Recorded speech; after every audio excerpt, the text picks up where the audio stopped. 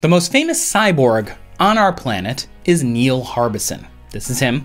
He has a brain computer interface. Neil was born with achromatopsia. He can only see in black and white. At the end of this little antenna is a camera that senses the color in front of Neil and converts that color information into vibration or sound. It vibrates his skull literally when it sees color and he hears it through the vibration of his bones, literally. This is the first step on the road to cybernetically upgraded and enhanced humans. He's the first legally recognized cyborg. Let's talk about this. Holy crap. Let's kick into it. Cyberpunk is a subgenre of science fiction that combines the dark underbelly of a broken social order with futuristic technology and urban environments, distinctly human stories. It was super popular in the 80s. I love it. A lot of people who are similar in age to me love it. Blade Runner might be a good gold standard for something like Cyberpunk, although I'm sure you're in the comments disagreeing with me already, which is also awesome. I needed new things to read anyway, so let me know down there. The key feature, though, is the cybernetics part. The word cybernetics was coined by Bruce Bethke in a novel in 1980. But the concept was far older. Norbert Wiener in the 1940s came up with an idea about this as well. And the thing about cyberpunk is that it's dark and it's gritty. But cybernetics, they don't actually have to be that. Cybernetics is just using machines to replace something that human bodies already do. A cybernetic arm could replace a lost arm, or a new arm could be added, or a new sense, like Neil, who hears color. And the reason that the human body can do this is because the brain is plastic. It adapts. And he, Neil, has had the implants for so long, he doesn't think about what color he's hearing. He just points his face around just like we would, and he sees grays and oranges and blues and greens. The antenna is literally attached to his skull. This is not the first version, he's slowly upgraded it over time. The chip is implanted under his skin, and he is not alone. There are many human beings who are augmenting their bodies like this. And implants like this can help people sense magnetic fields and microwaves. They augment things that we already do or they add to them. There are people who can control a third arm, a third thumb, people who are able to control wheelchairs using the brain signals that are recorded. Um, so, what they basically do is they read and try to decode our brain signals and encode that into the computer or machine so that when we're, we're thinking and we're trying to uh, think of a command, the machine can execute that command because it recognizes the signal and, and what that signal means. So, all of these things are definitely within reach and they're already happening, which is really exciting. When we talk about things like upgrading the brain, I think there are different kind of realms of it. There is the kind of medical realm is to kind of fix what's broken or to replace what's lost. And that's the realm that pretty much across the board everyone's comfortable with. But then there, you know, there's another realm where it's like upgrading, like can we get super intelligence? Can I get like automatic googling when I want to think of something or or can I just type at like, you know, the same rate as I think? And so that is a little bit more ethically questionable. There's always the reference of the Luke arm from Star Wars and full disclosure when I started grad school I had not seen Star Wars.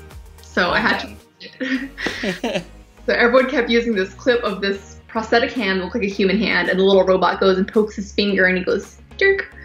I had to watch the movie just to see what that reference was from, and that's basically the goal: is you lose your arm and we put it back, both in terms of controlling it and in terms of feeling what the arm feels. You heard that right.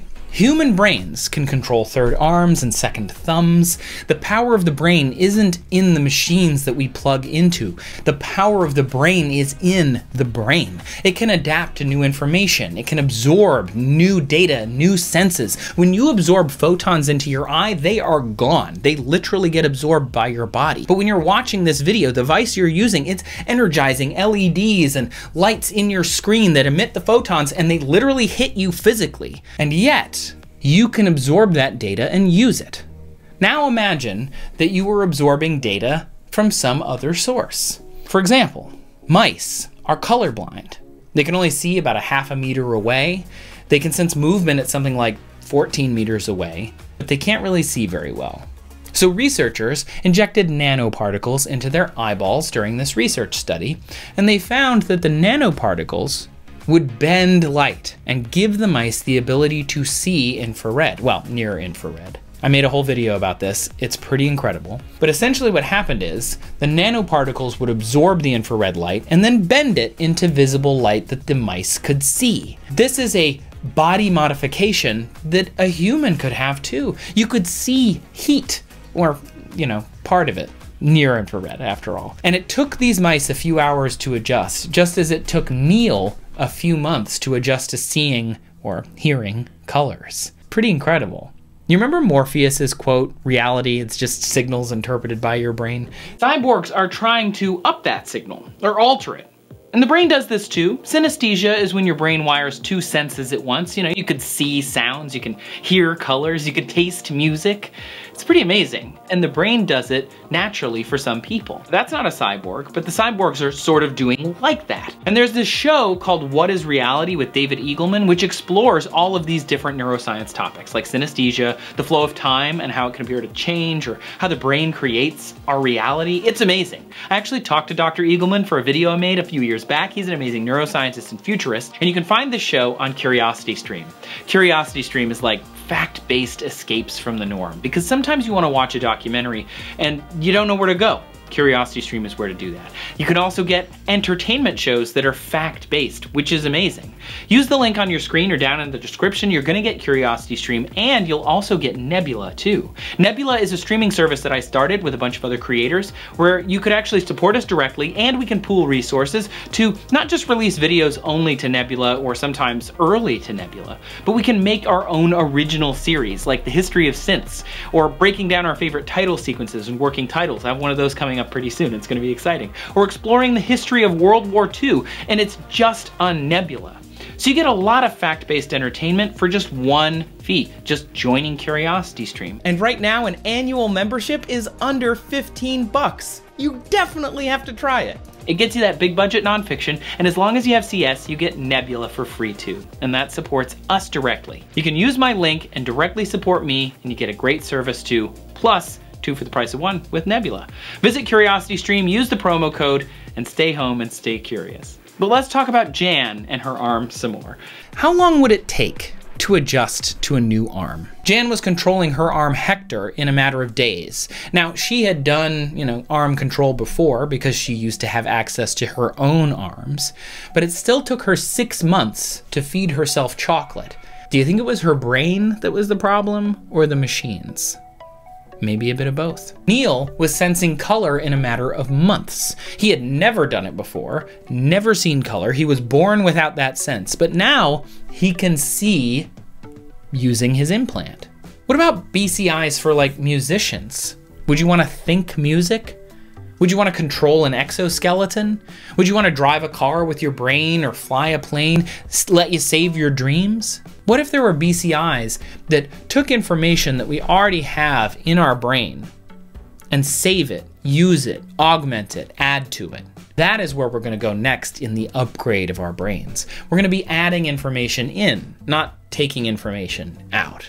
Transhumanists probably disagree with me. Mark O'Connell, in his 2018 book To Be a Machine about transhumanists, said, quote, it is their belief that we can and should eradicate aging as a cause of death, that we can and should use technology to augment our bodies and our minds, that we can and should merge with machines, remaking ourselves finally in the image of our own higher ideals. But is that possible? We don't know yet. We don't have that ability yet. Is it ethical? That's a whole other question. I just can't stop smiling. It's so cool. I'm moving things. I have not moved things for about 10 years. Jan lost control of her body in 2003, and she got back robotic arms in 2012. Hector and Lecter became hers. She literally took ownership over them. She would say, Oh, let me see if my arm can do that. But a few years into her experiment, they spotted a possible issue with her implants. Basically, her skin was pulling back from one of the implants, and they were worried about infection. They had to remove the implants as soon as possible. Even though she had started calling Hector and Lecter her arms. Let me see if my arm can do that. Jan can't control Hector anymore. She doesn't have those brain implants. They were taken out. What does that mean for Jan and for her experience and for her life? Not anyone can just go into the hospital and ask for a BCI, but you can seek out these studies. They're all over the country right now. There's about six, I think. I can double check the number, but I think there's six. Um, and so if you're in one of those areas and you have a spinal cord injury and you're paralyzed, you could go enroll in these studies. And e- even though you can't take this home and use it, it helps other people who are paralyzed eventually be able to um, kind of get a, an ability to interact with their environment back. The other realm of enhancing people is is much more debatable because you're going to have people who can afford it and people who can't. And the people who can afford it then get this not only have they do they have the money that already gives them an advantage in society, but they'll also have this thing that they are able to buy that gives them an increased advantage. And so that that brings a question of how how do we want to address the people's need to to do that and like i would love to be smarter and think faster and like have you know instantaneous typing and all that but at the same time if i had that and somebody can't even walk that's something that i think is difficult for for people to kind of um, to address and kind of realize you know there's research being done in both of these areas and there's definitely crosstalk because we might in one realm of enhancing people, we might learn something that can help people who need to have a medical need and vice versa. The question is, you know, who funds it and where does the money go and who wants to do that. And so if you have more people who want to address a medical need, that's going to get addressed. If you have more people who want to connect the brain to a computer, that's that's going to get done. Are we looking at healthy young adults? If we're looking at healthy young adults, how is that going to translate to an affected population with some kind of neurological disorder, for example? Are your findings going to be translated to that target population in the future? Can it be translated to that target population? A lot of like researchers in this field will start to collect data from healthy young adults to just kind of like get a basis of understanding from their experiments. Um, but then they have to think about okay, in the long run, I want this information to be applicable to the Alzheimer's population, for example. So, are my findings applicable, or do I need to change my experiment somehow so that it can be applicable and applied to Alzheimer's patients? Um, so we have to think about that as well. If I give you technology today and then we advance that technology next year and the year after, like a cell phone, are we going to eventually outpace you? Is your prosthetic arm, which was so advanced at one time, now hindering you? Or now not providing you with as much information as somebody else's? Who gets to decide who gets what augmentations? This is so much crazier than a new phone or a new computer. It's so much more important than something as simple as a text message. This is the way that you see the world. Imagine if you could only see color if you could afford it, or the only way that you could do something like saving your dreams was if you were rich. It might be the only source of some information about yourself and the way that you interact with the world. Is it ethical for people to have access to that when some don't? How is a BCI different from your cell phone after all? If I implant a device in you that gives you access to something, what does that mean for your life? This happened to 160 Mexican federal prosecutors in 2004. They implanted RFID chips into their bodies to access certain places in the government. The RFID chips themselves are innocuous, but the autonomy and agency over their own bodies was changed in those moments. It was relinquished to an employer for that little square on their body, and then it limited or granted access to others based on the augmentation that they had.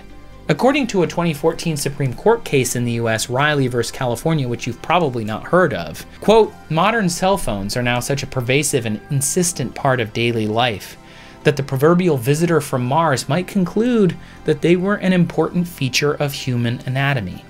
That was Chief Justice John Roberts. We might be cyborgs already, just based on this. What rights do we have over this machine? What rights would we have if some company owned the machine that we were connected to? If I have an antenna with a camera on it, is that me or is it a different part of me? If the maker wants to track my location because the technology inside of it they built, is that legal? Can the police take my cybernetic arm? Laws lag behind, ethics does not. I'm sure you have feelings on all of these things. There are bioethicists out there. I reached out to some for this episode and they couldn't make it. But if you think that that is my brain activity making that arm move and that is my electricity doing that myself my agency and it's coming from my implant inside of my brain how is it not just you? We don't know yet. The law is still being figured out. BCIs are still so, so, so new, but they are wondrous pieces of human ingenuity. If we want to be prepared for where this is going to go, we're going to need to know what's possible, which is why I did this series. Eventually, we'll, you know, have it cracked, but that's probably a good. I always like try to think how much we can understand the brain the way we understand a heart, because I'm sure the heart was really hard when people started looking at it too. But we got there's got to be a foundational equation or knowledge in there, but it's the brain. It's really hard. So maybe in 200 years we'll have like half of the brain understood. I don't think that would be enough. The rest of it's confusing, just squishy stuff. Just um. It's really hard to predict how long things are going to take because if you imagine like, you know, 10 years ago, we didn't know we'd be able to have an exoskeleton that we can control with our minds. Like, what? I mean, some people had that vision. 10 years ago, we were still kind of trying to decode what walking looks like in the mind, but maybe we weren't able to put it into a computer yet. But now we are, and it's these incremental little steps and kind of understanding and then applying what we know that gets us closer to fixing a problem like spinal cord injury. I would love to see us get to the point where we can like download our brains and stuff like that. Um, total Black Mirror reality. That would be super cool, but I don't think we would see it in our lifetime, to be honest. Um, there, there are just so many hoops to j- jump through before we can get to that point. What I, I do think we'll see is an improvement in the technologies that we use to record signals from the brain. We have to start looking at how we write our algorithms so that they can extract features more efficiently from the data. And I also know that we're going to see more advances in the electrode systems um, that are developed for these devices. We're also going to see a change in the way we do our experiments. A lot of researchers came up with like really creative ways to prevent extra noise in their data. So that's really nice to see. So that's where I think we're going to be in the next 10 to 15 years, maybe another century before we start downloading our brains, but it's fine. this was a lot. Thank you so much for sticking around for all five of these episodes. Hopefully, you did. If you didn't, go back and watch them. Honestly, I had a completely different idea for how this episode was going to go, how all these episodes were going to go. And then I talked to Liesl and Sharlene and Jessica. Congrats again to Jessica for defending her doctoral thesis. I thought we would be talking about brain downloading and uploading, but we're just not there yet. I have to touch on that in a future series, I guess. I'm excited about that. If you have an idea for a series, please let me know. Did you learn something new? Let me know that as well. I really hope so. Thanks again to Sharlene Flesher, Jessica Chen, and Liesl Richardson for helping with this episode. You can go and find all of the guests from these episodes down in the description below. I could not have done this without y'all and without them. Thanks again to everyone who watched this episode, who shared it, who talked to me about it, who left a comment. I love you all. Thank you for watching. Looking forward to my next series, I hope. So stay tuned, and I'll see you in the future.